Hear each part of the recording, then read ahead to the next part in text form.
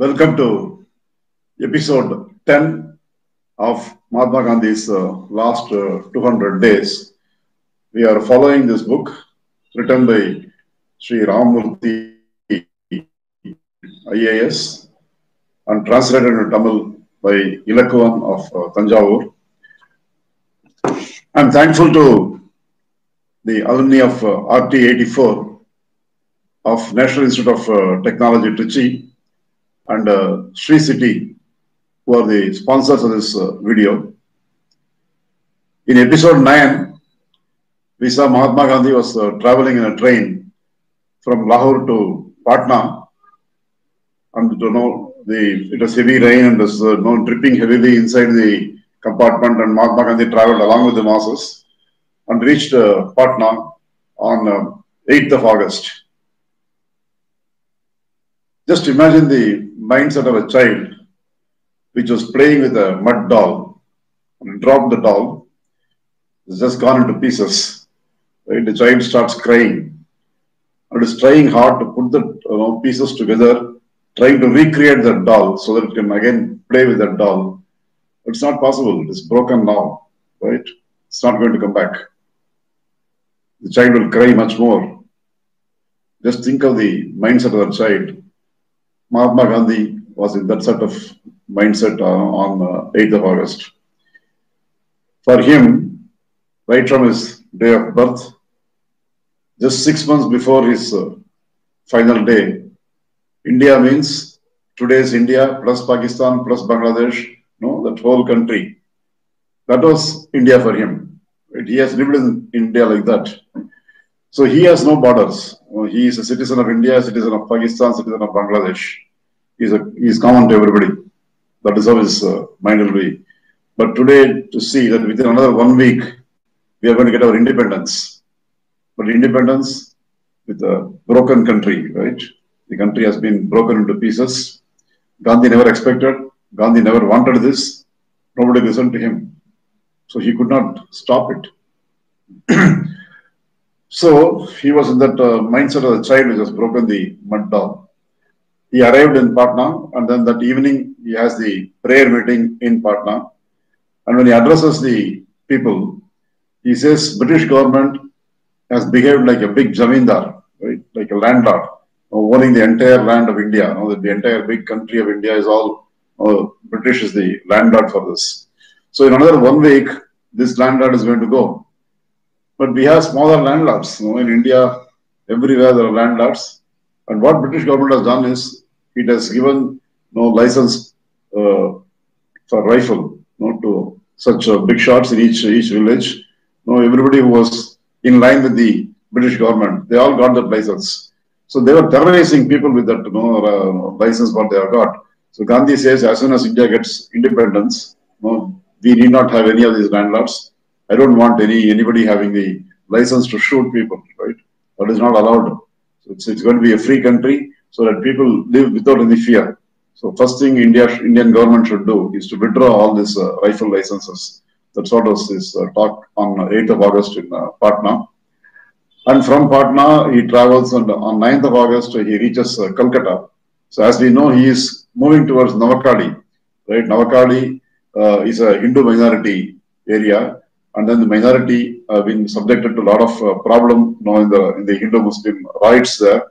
So once once before he has he had been there, he has solved the problem. So again, the people there wanted Mahatma Gandhi to come there to solve the problem. So he's going towards Navakali. So from Patna, he has moved to Calcutta on uh, 9th of August. So he is sitting on the banks of Ganges, and he sees on the other side of the bank, on the other side of the Ganges, he sees uh, you know, the majestic Ramakrishna Mutt in Belur uh, which has been built by Swami Vivekananda. So if you look at uh, Bengal, you know, it's a land where uh, you know, Kabir Das was living long ago, and then Ramakrishna Paramahamsa, and then Swami Vivekananda, and today Rabindranath Tagore. So all you know, great giants, you know, jnanis, they have lived in uh, Bengal. In 1904, when Curzon tried to divide Bengal, there was a big uprising such a big uprising with a nationalistic, nationalistic feeling. It was never seen anywhere in India. It started in Bengal, right? But today, today the British government is trying to do the same thing. It's dividing Bengal. No, we're going to have East Bengal and West Bengal. Of course, West Bengal today is one of the states, one of the province in India. Where is East Bengal? East Bengal became East Pakistan in 1947. And then around 1972, it became a separate country as uh, Bangladesh. Right? So one part of uh, Bengal has become a different country. Another part of Bengal is part of part of India. So this division, right? People accepted it in 1947. The same people in 1904, they know with all their might, you know, they agitated and they stopped it. Now they did not allow the government to split Bengal at that time. But what is happening you know, today is so many riots. You know, the Hindus and Muslims, they're all clashing. Know, there's a fight going on every day, there's murder going on every day, right? There's rioting going on every day. so the unity is lost now. What happened to all this, uh, you know, uh, the legacy of so many big shots starting from Kabir Das right up to Rabindranath Tagore who is still there. so Bengal has changed. You know, Mahatma Gandhi is really, really worried. The people of Calcutta, especially the Muslim leaders, they come and tell Mahatma Gandhi I we, are, we are very happy that you are going to Navakali to solve the issues there, but you see the issues here in Calcutta now. Right? At least stay two, three days. Right? Don't rush and immediately go to Navakali. Stay here in Calcutta and then see how we are suffering. Right? Please solve our problem. Nobody is able to solve. Nobody is able to solve. We have appealed to the government. We have appealed to you know, local authorities. We have done everything. But the writing is going on and we are all suffering. So please, you know, the only person we believe is Mahatma Gandhi. We want you to stay back in Calcutta and resolve this issue and then you proceed to Navakali. So at least two, three days you postpone your trip. That was the appeal given by you know, the, uh, the Muslim uh, community leaders. So Mahatma Gandhi sees the situation. He says, okay, I'll stay. And then on 9th August and 10th August, both the days, Mahatma Gandhi, he did nothing else. He just walked around Calcutta. In fact, on uh, 10th of August, he was observing Maunavrata. That means he will not utter even a single word, right? Complete silence. Every Monday he does that. Every Monday, wherever he is, whatever may be the situation, he will not speak on Monday. So one day in a week, uh, it's a holiday for his mouth. Right? He doesn't talk. so 10th August was like that. So on these two days, he is just walking through the very, very small streets of uh, Calcutta, very poor areas, right? Poor neighborhood. On both sides, very small houses, huts, But All these huts and uh, houses, they have a very small kitchen and they have a small stove. When uh, people come to their house as uh, you know, their guests, know, probably they prepare some coffee or tea and then supply to them. Right? So that small fire, that is the only thing they have seen in that area. But now the entire area is burnt down. Right? All the houses are broken, all the huts are burned down. People have been killed, women have been raped, right? And uh, you know, all their limbs have been cut off. So much of violence, so much of bloodshed. Mahatma Gandhi is very upset. Of course, he is not going to speak on that day, but tears roll from his eyes. And he is very silently, is, he is walking through the uh, streets.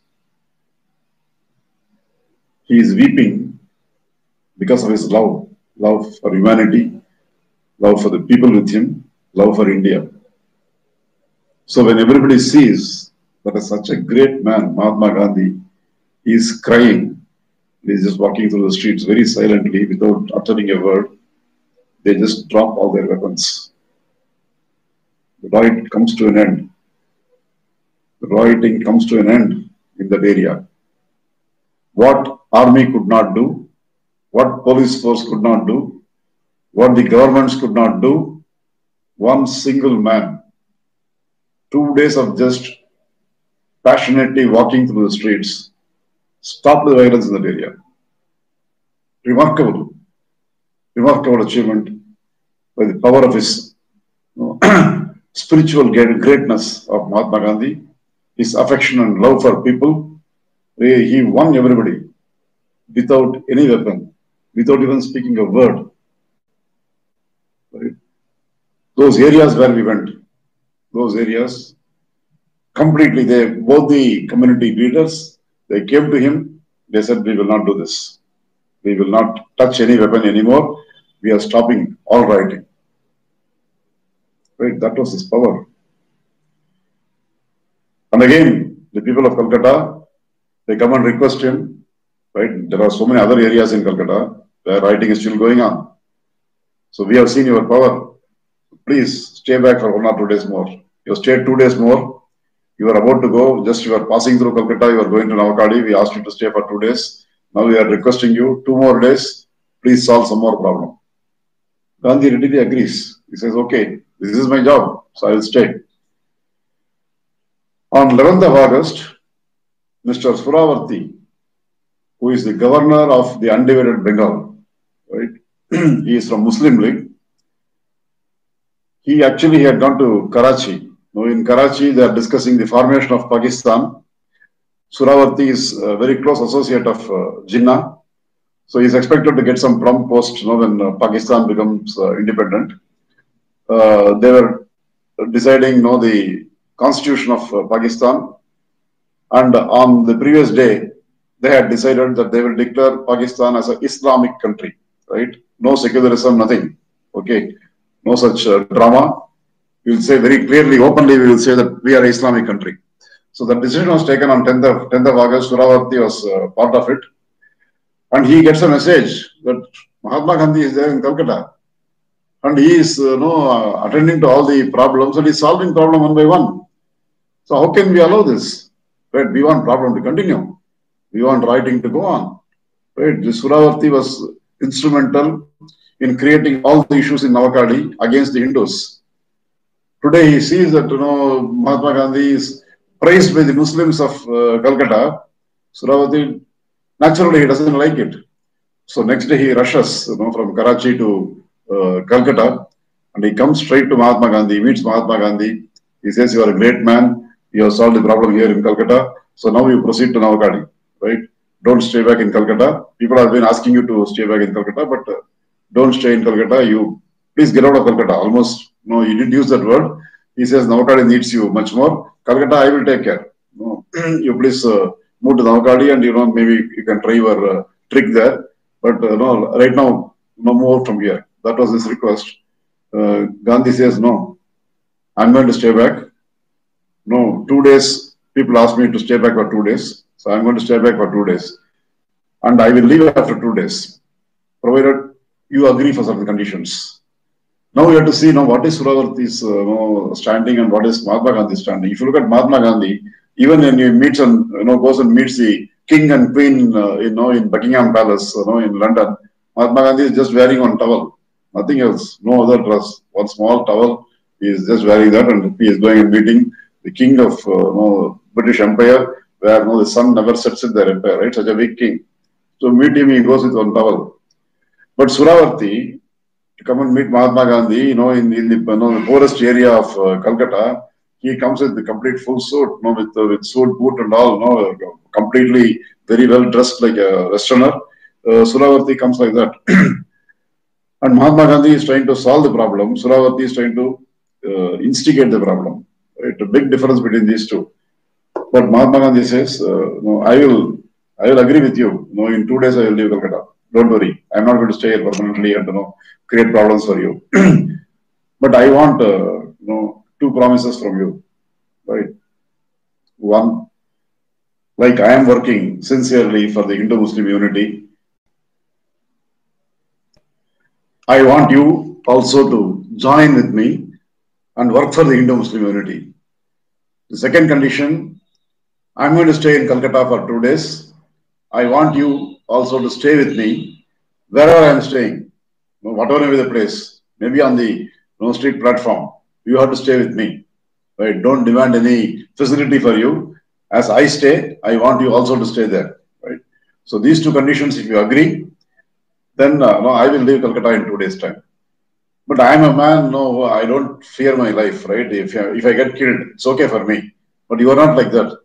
So you go and consult your family members and you come and tell me, eh, we are going to live for two days without any protection, you know, almost you know, on the street corner. This is how we're going to live for two days. If it is acceptable to your family, you come and tell me, then we will try the experiment. Suhrawardy says, okay, I'll go and talk to my family. He goes, he speaks to her family members. Fortunately, the family members also agree. They said, okay, try this.